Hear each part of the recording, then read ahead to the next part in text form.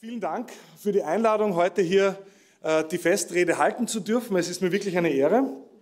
Und ähm, ja, ich möchte auch gleich einsteigen, wenn ich heute hier über Reform und Zukunft des öffentlich-rechtlichen Rundfunks spreche, dann werde ich das oder möchte ich das ähm, in der laufenden Debatte auf eine unerhörte Art und Weise tun.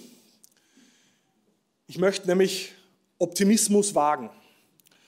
Ja, ich werde die These vertreten, dass die besten Zeiten des öffentlich-rechtlichen Rundfunks noch vor uns liegen. Aber zunächst einmal zum Grundsätzlichen. Warum finanzieren wir als Gesellschaft überhaupt öffentlich-rechtliche Medien?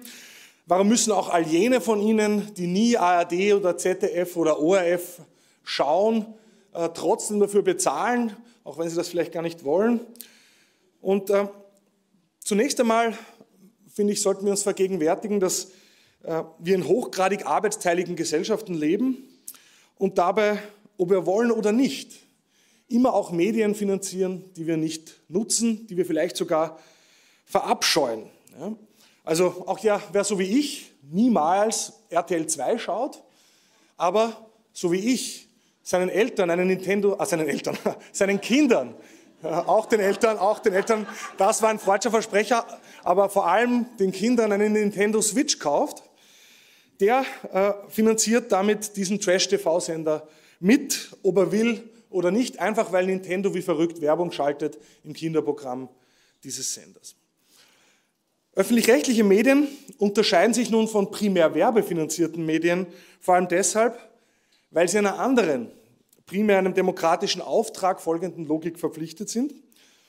Das bedeutet nicht, und das möchte ich vorwegschicken, dass öffentlich-rechtliche Medien deshalb automatisch besser, gehaltvoller oder seriöser als private Medien sind. Natürlich könnten Traumschiff und Fernsehgarten auch bei Sat1 laufen, wobei äh, dann auch wieder nicht, weil ein sehr großer Teil des Publikums dieser beiden Sendungen außerhalb der werberelevanten Zielgruppe von 19 bis 49 ist. Ähm, und deshalb äh, ja, dann vielleicht doch nicht bei Sat 1 stattfinden würde. Öffentlich-rechtliche Medien kümmern sich aber nicht nur um die werberelevanten, sondern dem demokratischen Auftrag entsprechend um alle Zielgruppen. Und in dem Ausmaß, in dem sie einer anderen Logik folgen, das tun sie auch nicht in jeder Hinsicht, und damit auch relevante Reichweiten erzielen, in dem Maße leisten sie auch zumindest potenziell einen Beitrag zu einer vielfältigeren demokratischen Öffentlichkeit, von der auch dann jene profitieren, die sie gar nicht anschauen oder die sie nicht anschauen wollen würden oder sehr selektiv nutzen. Ich habe den Begriff Logiken verwendet. Warum? Weil der sehr schön wissenschaftlich neutral klingt. Aber was natürlich mit Logiken gemeint ist, sind eigentlich Abhängigkeiten. Denn auch wenn auf vielen Zeitungen fett auf der Titelseite drauf unabhängig steht, dann gibt es am Ende des Tages keine unabhängigen Medien.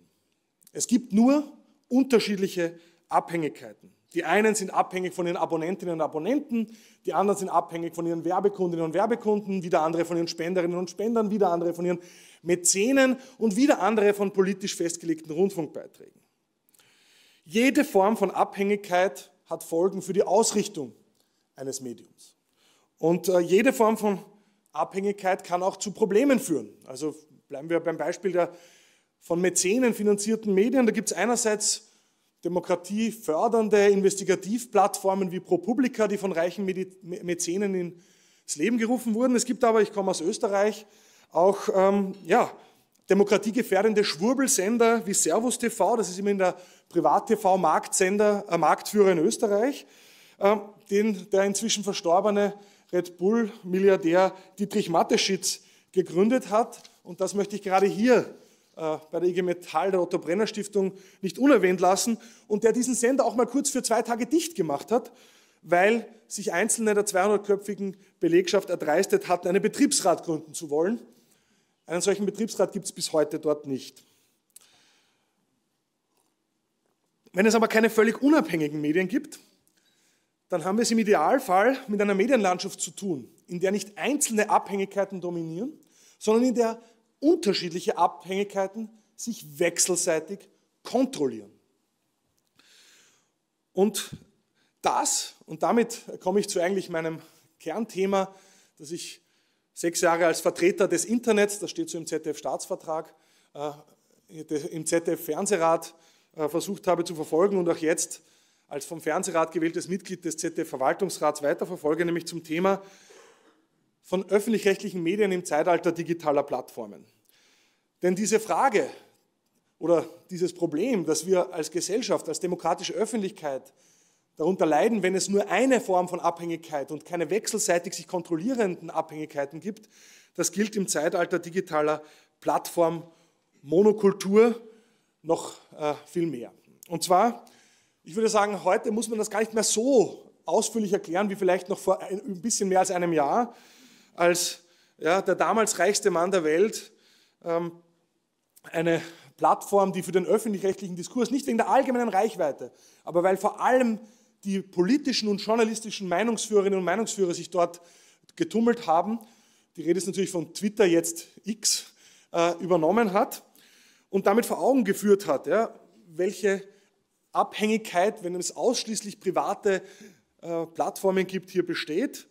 Denn eins muss man sagen, bei aller berechtigter Kritik an öffentlich-rechtlichen Medien, zumindest kann nicht morgen irgendein reicher Dude um die Ecke kommen, sie aufkaufen, mehr als die Hälfte der Belegschaft rausschmeißen und Neonazis zu Kolumnistinnen machen. Das ist ausgeschlossen. Aber auch abseits dieses besonders eindrücklichen Falls von Twitter haben wir es online mit einer Monokultur zu tun.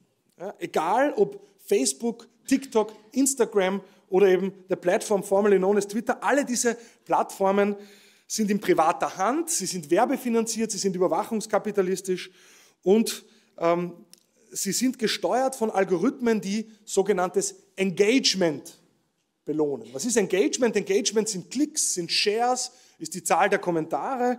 Ja? Und äh, das wird mit Reichweite belohnt. Ja? Dass dieses Engagement ja, vor allem durch Beiträge erzielt wird, die polarisieren, die zuspitzen, ja, die emotionalisieren ja, und nicht notwendigerweise durch differenziertes Betrachten von, äh, äh, von Sachverhalten in ausgewogener Art und Weise, das nehmen diese profitorientierten, werbefinanzierten Plattformbetreiber in Kauf nicht. Ich unterstelle Ihnen nicht, dass Ihnen an der Zuspitzung gesellschaftlicher Konflikte gelegen ist, aber einfach, weil es rechnet. Profit und werbefinanziert, profitorientiert und werbefinanziert eben. Spätestens an diesem Punkt wird dann auch deutlich, warum öffentlich-rechtliche Medien im Zeitalter digitaler Plattformöffentlichkeit wichtiger denn je sind. Dringender denn je brauchen wir Alternativen, brauchen wir Ausweichrouten zu diesen großen, profitgetriebenen, werbefinanzierten, überwachungskapitalistischen Online-Plattformen. Wir brauchen digital öffentliche Räume, die primär einem demokratischen Auftrag verpflichtet sind. Nicht, weil die notwendigerweise besser sind, aber weil wir zusammen von einer demokratischeren und vielfältigeren Digitalöffentlichkeit profitieren, wenn es neben den profitorientierten auch anderes, einem demokratischen Auftrag verpflichtete öffentliche Räume haben. Und, und auch das ein wesentlicher struktureller Unterschied von öffentlich-rechtlichen Medien zu privaten Plattformbetreibern. Öffentlich-rechtliche Medien sind schon strukturell auf Kompromiss und Konsens ausgerichtet. Nehmen wir das Beispiel des ZDF, das mir besonders nahe ist. Nicht nur der Intendant, auch acht von zwölf Mitgliedern des Verwaltungsrates sind dort mit Dreiviertelmehrheit, also über weltanschauliche Lager hinweg, vom Fernsehrat gewählt. Und da reden wir noch nicht von den gesetzlichen Grundlagen von ZDF und ARD, die, wie Sie alle wissen, Rundfunkgesetzgeber in Deutschland sind die Länder, eine Einstimmigkeit von 16 Ländern benötigen. Ja? Ich würde sagen, mehr Gegenmodell zu privaten Plattformen, wo jene, die am lautesten und am emotionalsten und am radikalsten rumbrüllen, ist eigentlich wo die am meisten Gehör finden, ist eigentlich kaum denkbar. Damit aber die öffentlich-rechtlichen diesen dringenden Bedarf nach gemeinnützigen Alternativen zu den großen kommerziellen Plattformen auch bedienen können, müssen sie sich und müssen sie auch ihre Rolle und ihr Rollenverständnis ändern. Öffentlich-rechtliche müssen selbst zu Plattformbetreibern werden. Sie müssen sich und ihre Kommunikationsinfrastruktur vor allem dem Publikum aber auch anderen gemeinnützigen und in bestimmten Bereichen vielleicht auch kommerziellen Medien öffnen. Mit meinem Kollegen, dem äh, Techniksoziologen Jan-Henrik Passert, habe ich vor allem drei Bereiche identifiziert, in denen öffentlich-rechtliche Medien mehr Offenheit brauchen. Sie brauchen erstens eine Öffnung ihrer Infrastruktur, ihrer Softwareinfrastruktur im Digitalen hin zu gemeinsamer und transparenter Entwicklung auf Basis von offener Software, offenen Standards und offenen Protokollen. Das hört sich jetzt technisch an.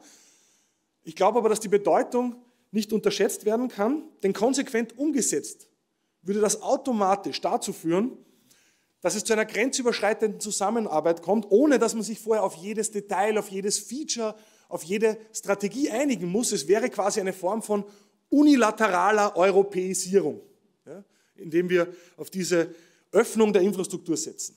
Das Zweite wäre eine Öffnung für die Interaktion mit dem Publikum und für gesellschaftliche Teilhabe. Wenn ich heute mit anderen Zuschauerinnen und Zuschauern über die letzte Folge vom Jan Böhmermanns ZDF-Magazin Royal diskutieren möchte, dann muss ich hoffen, dass ich eine, einen Ausschnitt dieser Sendung bei YouTube finde und dort kann ich dann mich mit Leuten darüber unterhalten. Ich finde, es ist absurd, dass wir Menschen, die sich über öffentlich-rechtliche Inhalte auseinandersetzen wollen, dazu zwingen, diese Inhalte auf kommerziellen Plattformen zu suchen, um dann dort darüber zu diskutieren. Ich glaube, dass dieser Umstand auch in einem eklatanten Widerspruch zum demokratischen Auftrag oder zum Auftrag, zum, auch zum gesetzlichen Auftrag der öffentlich-rechtlichen Medien steht, der fordert, dass sie einen Beitrag zu demokratischer Meinungsbildung leisten müssen. Drittens braucht es eine Öffnung der Mediatheken für nutzergenerierte Inhalte und andere gemeinnützige Medienangebote, von Universitäten über Museen bis hin zu Blogs, Podcasts und wir haben in Deutschland ja auch die Diskussion über gemeinnützigen Non-Profit-Journalismus. All diesen Anbietern sollten die öffentlich-rechtlichen Mediatheken eine Bühne bieten und so ein öffentlich-rechtliches Ökosystem ganz allgemein stärken helfen. Gut. Ich glaube, spätestens an diesem Punkt höre ich schon Einzelne im Publikum raunen, ja, oder zumindest laut nachdenken, wie man nur so naiv sein kann zu glauben, dass nationale öffentlich-rechtliche Medien auch nur den Hauch einer Chance gegen die dominanten großen globalen Plattformen haben könnten. Und ähm, ist, wie von mir skizziert, so ein öffentlich-rechtliches Gegenmodell auch in den Worten des von mir wirklich sehr geschätzten Digitalverstehers Sascha Lobo nicht einfach grotesker Airbus-Quatsch. Ja, ist das nicht grotesker Airbus-Quatsch, was ich hier gerade skizziert habe? Und ich muss sagen, nein, es ist ja ein Vortrag, der soll optimistisch in die Zukunft blicken, aber nicht, deshalb noch lange nicht utopistisch. Ich habe gesagt optimistisch, nicht utopistisch. Es hat schon einen Grund, warum auch Internetversteher wie Sascha Lobo sich schwer tun zu sehen, warum die öffentlich-rechtlichen Medien besser für die digitale Zukunft aufgestellt sind, als es ihr Image von drögen, bürokratischen Anstalten, ich meine, wir nennen sie Anstalten, vermuten ließe. Und zwar nicht nur, weil wir bei den öffentlich-rechtlichen zum Internet immer noch Telemedien sagen. Denn während der Aufstieg der digitalen Plattformgiganten größtenteils Mark Zuckerbergs Devise des Move Fast and Break Things irgendwie äh, folgt, ist das bei den öffentlich-rechtlichen doch was anderes. Das Motto könnte man da eher beschreiben als Move Slow and Build Things. Also gewachsen wird hier eher linear als exponentiell. Und das hat natürlich weniger Wumms, schon gar kein Doppelwumms und kommt unspektakulär daher. Am Ende ist so ein Ansatz aber wahrscheinlich nachhaltiger und, nachhaltiger und ganz sicher demokratischer als Move Fast and Break Things. Aber machen wir es konkret. Am 1. Mai 2019, das war ein historisches Datum in der Geschichte öffentlich-rechtlicher Online-Angebote in Deutschland. Warum? Die meisten von Ihnen werden nicht wissen, was am 1. Mai 2019 passiert ist. Da trat der 22. Rundfunkänderungsstaatsvertrag nach Ratifizierung in 16 Landesparlamenten in Kraft.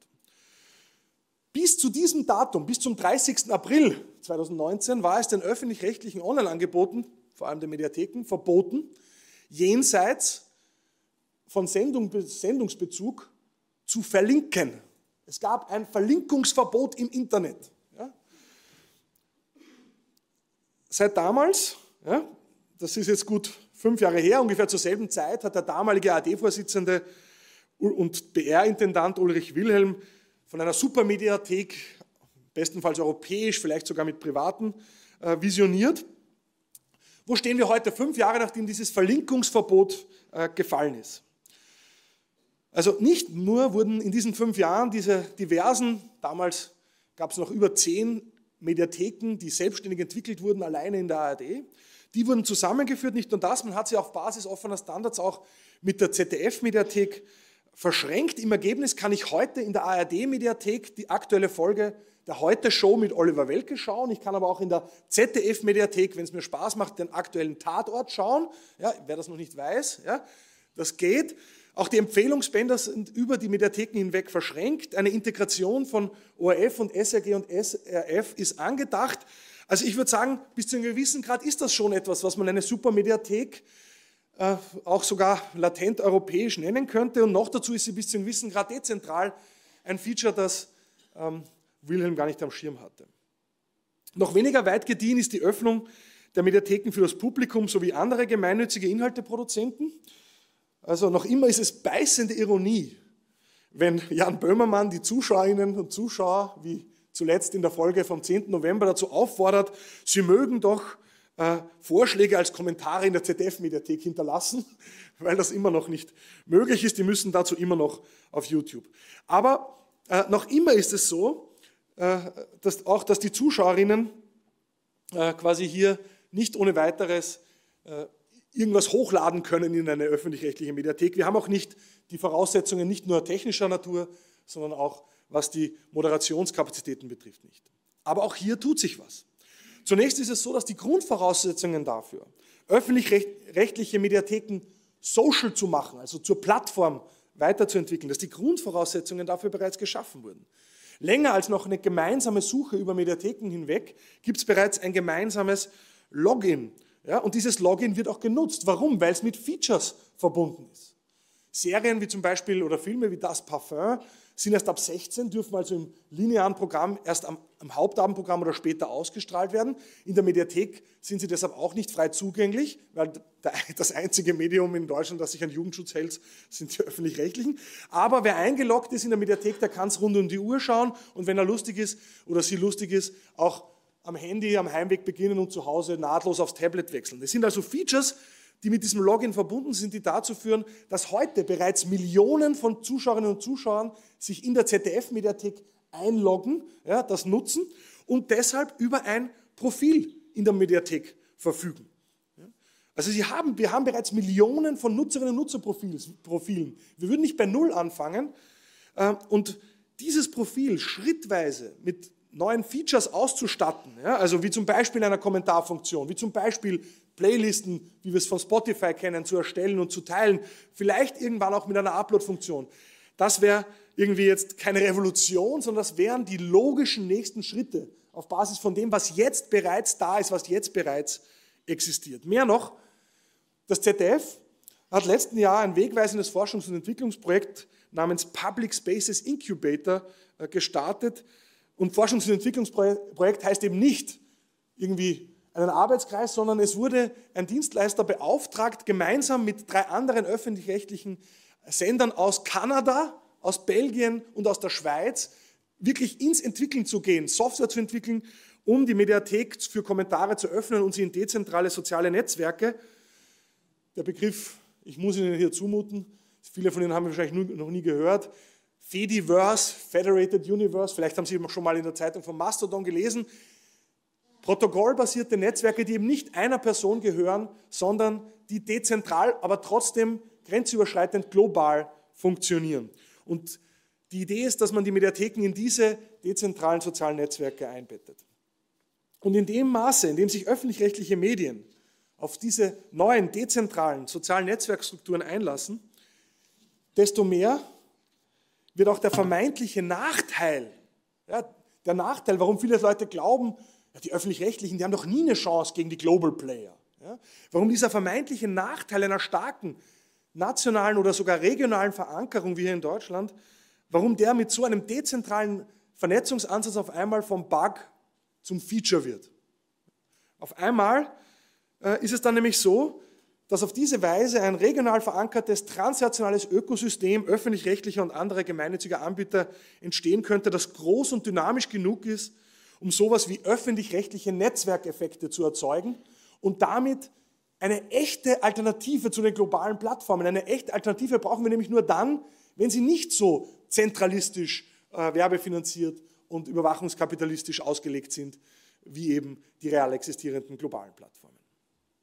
Gut, wenn das alles stimmt, was ich bisher erzählt habe, also dass die öffentlich-rechtlichen Medien im digitalen Plattformzeitalter notwendiger sind denn je und die Entwicklung zwar langsam, aber kontinuierlich in Richtung eines offenen, dezentralen und vernetzten öffentlich-rechtlichen Ökosystems geht, warum ist dann eigentlich die öffentliche Debatte um öffentlich-rechtliche Medien so negativ in ihrer Tonalität? Warum ist es dann eigentlich provokant? Und ich würde das schon für mich in Anspruch nehmen, vielleicht einige Leute hier zu triggern, ein rosiges Zukunftsbild öffentlich-rechtlicher Medien zu skizzieren. Meine These ist, dass das nicht nur an Skandalen wie jenem im RBB liegt, an denen es nichts zu beschönigen gibt und die in meiner Meinung nach wirklich sehr nachdrücklich deutlich gemacht haben, dass wir es mit Transparenz und Compliance-Problemen äh, zu tun hatten, wobei auch da man sagen muss, der vierte Medienänderungsstaatsvertrag ist bereits verhandelt und setzt genau an diesen Punkten an. Nein, ich würde sagen, die negative Stimmung öffentlich-rechtlichen Medien und ihrer Performance im Digitalen gegenüber ist meiner Meinung nach primär auf zwei Ursachen zurückzuführen, die unabhängig voneinander sind zum Teil. Da wäre zunächst die überaus tiefgreifende digitale Transformation der traditionellen privaten, primär werbefinanzierten Medien. Deren Geschäftsmodell wird seit Jahren wirklich in ihren Grundfesten erschüttert, einfach weil ihr die Werbekunden mit Werbung bei Google und in sozialen Netzwerken treffsicherer, zielgenauer ihre Zielgruppen erreichen als mit klassischen Anzeigen im Print und TV. Und ja, das ist natürlich nicht die Schuld der öffentlich-rechtlichen Medien, dass es zu, diesem, zu dieser Entbündelung äh, gekommen ist. Ähm, aber äh, ich kann schon verstehen, ja, dass die privaten Medien, die hier wirklich in einem existenziellen Überlebenskampf sich teilweise befinden, dass die jede Einschränkung von öffentlich-rechtlichen Medienangeboten online als eine willkommene Unterstützung in diesem Überlebenskampf sehen. Selbst wenn es bedeutet, anachronistische Spaßkonzepte wie das Verbot von Presseähnlichkeit herbeizulobbyieren. Bis zu einem gewissen Grad ist dieser Konflikt auch unauflösbar. In einem Internet voller Inhalte ist die menschliche Aufmerksamkeit die knappste Ressource und natürlich stehen öffentlich-rechtliche und private Medien in einem Wettbewerb um diese Aufmerksamkeit. Gleichzeitig ist aber genau auch das der Punkt, warum wir öffentlich-rechtliche Medien brauchen. Wir wollen diesen Wettbewerb unterschiedlicher Logiken um die begrenzte Ressource Aufmerksamkeit. Allerdings, und insofern sehe ich das auch nicht als den kritischsten Punkt, sehe ich auch Potenziale für Synergien, gerade wenn man diesen Offenheitskurs fährt, den ich vorher vorgeschlagen habe.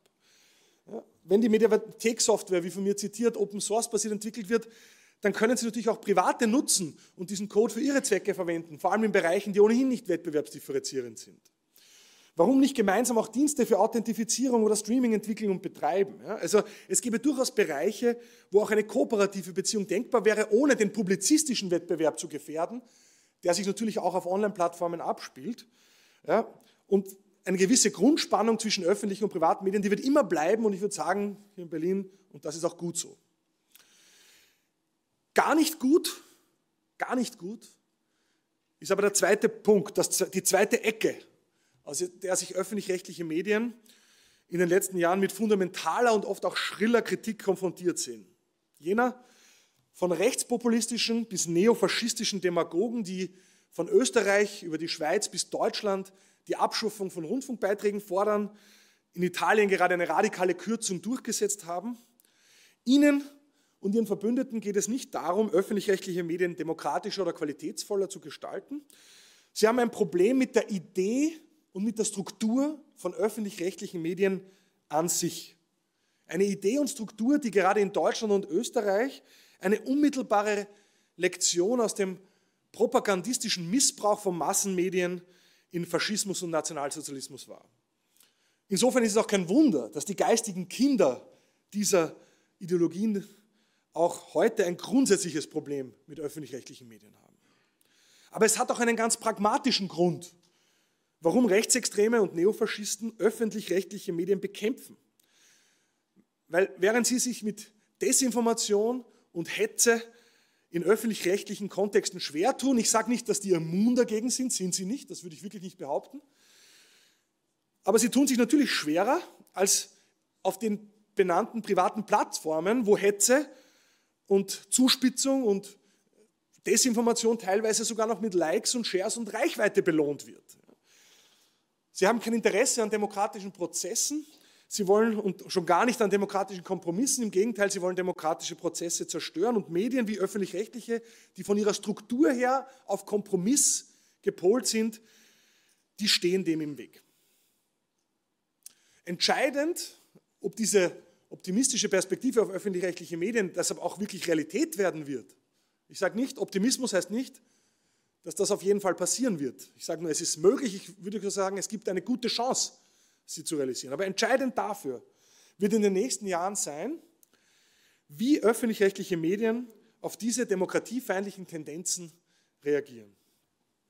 Die größte Gefahr besteht meiner Meinung nach darin, einem Drängen von dieser Kritik aus der rechtsextremen und neofaschistischen Ecke, diesem Drängen, das oft unter dem Label mehr Ausgewogenheit daherkommt, nachzugeben, weil dieses Drängen in Wirklichkeit eine Forderung, was im Englischen so schön nach False Balance entspricht, also nach falscher Ausgewogenheit. Es ist nicht ausgewogen, wenn wir einem äh, Klimaforscher oder einer Klimaforscherin einen einen Leugner des menschengemacht, der menschengemachten Erderhitzung äh, entgegenstellen, ja, sondern das ist False Balance. Ja. Und ähm, es ist auch nicht, oder es ist auch eher ein Problem, wenn wir weniger als eigentlich angemessen über die Klimakrise berichten, weil wir Angst davor haben, dann der Voreingenommenheit oder noch schlimmer, sogar des Aktivismus bezichtigt zu werden. Genau das passiert aber in vielen, nicht nur öffentlich-rechtlichen Redaktionen. Also der ehemalige Zeit- Online-Chefredakteur und Medienexperte Wolfgang Blau hat das nach zahlreichen Gesprächen mit Kolleginnen und Kollegen äh, so berichtet, dass die Angst des Aktivismus bezichtigt zu werden einer der häufigsten Gründe dafür ist, warum JournalistInnen davor zurückscheuen, häufiger als davor über die Klimakrise zu berichten.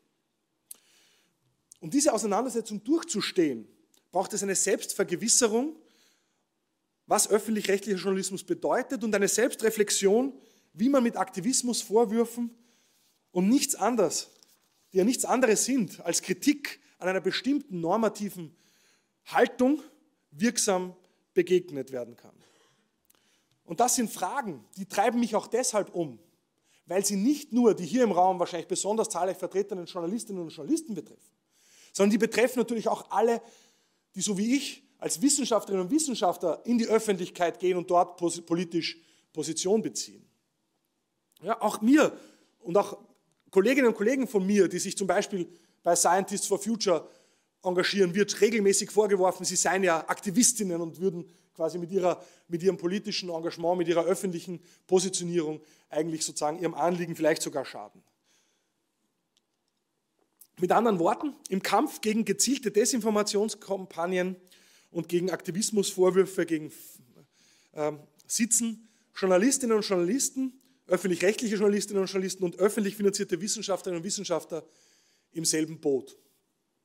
Und beide begehen einen Fehler, wenn sie in dieser Situation zurückrudern und leugnen, dass normative Standpunkte in journalistischen und wissenschaftlichen Erkenntnisprozessen immer mit einfließen. Das zu leugnen ist immer falsch und das macht es auch den Feinden des öffentlich-rechtlichen Rundfunks und, der, und einer öffentlich finanzierten Wissenschaft so einfach, dann aufzudecken, dass normative Aspekte eine Rolle gespielt haben bei einer Studie oder bei einem Artikel, weil sie es immer tun. Ja? Schon alleine bei der Auswahl des Themas, ein Thema aus der unendlichen Zahl an Themen, über die ich berichten kann, ein einziges auszuwählen, diese Frage ist schon so normativ, ja, so politisch. Ja? Und da hören aber die normativen Fragen nicht auf. Gleiches gilt die Frage, welchen Schwerpunkt ich setze, wen ich befrage, wen ich zitiere, was ich weglasse. Alles das sind normativ-politische Fragen und äh, ich kann diese Normativität dieser Beantwortung dieser Fragen nicht vermeiden. Und das ist auch der Grund, warum schon Max Weber 1904 in seinem Aufsatz mit dem Titel Die Objektivität sozialwissenschaftlicher und sozialpolitischer Erkenntnis den zentralen Begriff der Objektivität unter Anführungszeichen gesetzt hat. Wenn aber an normativen Entscheidungen kein Weg vorbeiführt, in Wissenschaft wie in Journalismus, wie könnte dann eine Antwort darauf aussehen? Und dafür möchte ich jetzt zum Abschluss meines Vortrags den Blick auf eine weitere, bislang unerwähnte Digitalplattform richten. Eine Plattform, die in der medialen Debatte über digitale Öffentlichkeit kaum je Erwähnung findet. Auch in den öffentlich-rechtlichen Kontexten, wenn es um die Präsenz öffentlich-rechtlicher Inhalte auf sogenannten Drittplattformen geht, kommt die nie vor, egal wie lang die Aufzählung ist. Eine Plattform, die auch in ihrer Bedeutung für, unser Welt, für den Zugang zum Weltwissen und damit unser Weltverstehen nicht überschätzt werden kann. Und zwar nicht nur, weil sie selbst zu den, die einzige nicht kommerzielle Webseite unter den 100 meistbesuchten Webseiten im Netz ist, sondern weil die mit Abstand meistbesuchte Webseite im Internet, Google, bei ihren Suchmaschinen ganz massiv auf diese Plattform zurückgreift und teilweise Fragen direkt mit Wissen aus dieser Plattform beantwortet. Inzwischen wissen es, glaube ich, alle, wovon ich spreche. Ich spreche von der Wikipedia und die Bedeutung der Wikipedia fürs Weltwissen, die wird auch dann noch, wenn Google durch ChatGPT abgelöst sein wird, groß bleiben, weil auch die neuesten KI-Modelle ganz maßgeblich, wenn sie nicht einfach nur irgendwas daher halluzinieren, auf Wikipedia-Wissen basieren, mit Wikipedia-Wissen trainiert werden. Wenn wir uns aber anschauen, wie es um die Glaubwürdigkeit und Robustheit des Wikipedia-Wissens bestellt ist, dann zeigt sich, dass gerade in dynamischen und politisch besonders kontroversen Themenfeldern, also von der Covid-Pandemie über den russischen Überfall auf die Ukraine bis zur Klimakrise, dass es gerade in diesen Themenfeldern die Wikipedia ausgesprochen akkurate, aktuelle und differenzierte Informationen liefert. Und das ist mit Verlaub eigentlich ein Treppenwitz der Internetgeschichte. Wenn wir sich anschauen, die Wikipedia wurde gegründet 2001. Und in den ersten zehn Jahren gab es eigentlich rund um die Wikipedia nur eine Frage. Kann ich das glauben, was da drin steht? Da kann ja jeder alles Mögliche reinschreiben. Ja? Ich meine, heute hat sich die Frage geändert. Die meiste Frage, die ich als Wikipedia-Forscher auch bekomme, ist, ich hätte so gerne was in der Wikipedia, aber es wird sofort gelöscht.